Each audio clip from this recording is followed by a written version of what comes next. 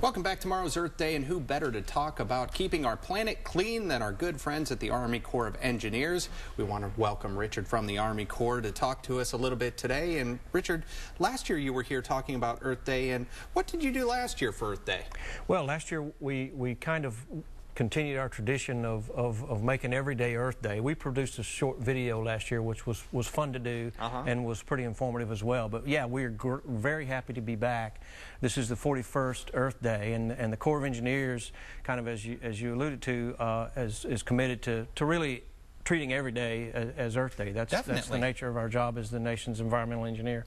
Now, not everybody knows what the Army Corps of Engineers does. You're right here in Charleston, right next to the Citadel. And what sorts of things do you do in the area? Well, the Corps of Engineers is, is quite diverse as, as, a, as a federal agency that's, that's part of the Department of Defense and, and part of the Army.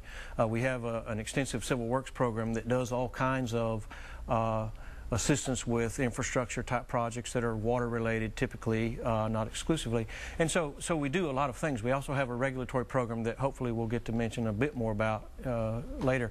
But um, we also have a, a, a great deal of, of outdoor based sure. uh, sites, you know, recreation activities. Because a lot of the people that really believe in Earth Day and what it stands for like to get out and enjoy Mother Nature. And how do you do that here in South Carolina? What's do you offer? Well, um, actually, we, we have uh, a number of of sites throughout the state. The, the, the, the real most notable ones are Lakes Hartwell, Lake Thurmond, um, Lake Russell that okay. are in the upper Savannah River Basin uh, that offer the full gamut really of, of outdoor and water-based recreation, uh, swimming, boating, fishing, but hiking and um, and and day use camping as well. Those those lakes are managed technically by the Savannah District of the Corps of Engineers, and, okay. and so certainly, um, if one wants to visit their website and get more information about those lakes, but we we've got uh, sites throughout the uh, the state and throughout the country um, if actually actually put a plug in, really, um, President Obama has recently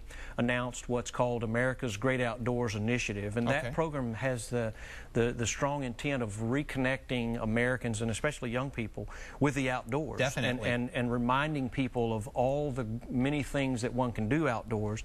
Uh, you know, many of our outdoor spaces are, are what helps us build our cultural traditions, our outdoor traditions, definitely, and so this program is is designed to to, to remind us of that and, and reconnect us to that.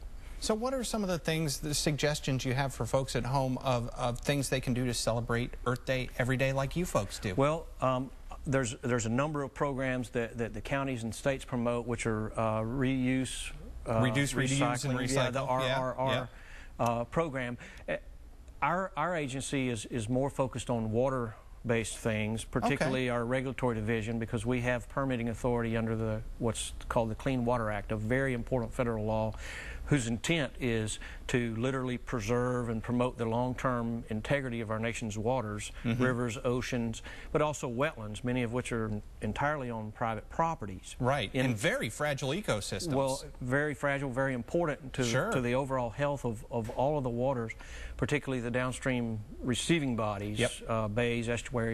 And so uh, through, our, through our regulatory program, we're, we're reviewing permit applications for work that's perhaps very necessary. And we have that delicate balancing act that, that, that we play in um, promoting preservation of important wet habitats right. with the applicant's needs.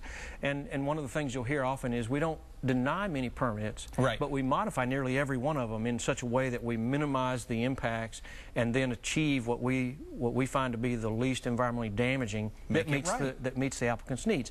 And and really that kind of I like talking about that on a day like this because it really puts that link in where our regulatory division's activities literally are uh, promoting the intent of, of preserving America's great outdoors so that Americans can continue to enjoy to it. enjoy those. Exactly. Yes. And folks, if they want to talk more about Earth Day, the Army Corps of Engineers, you'll be out at Park Circle tomorrow, correct? We will. Perfect. We will. So yes. check them out. Richard, great to see you yeah, well, thanks year. for having us back. It's great to be able to talk about what we do.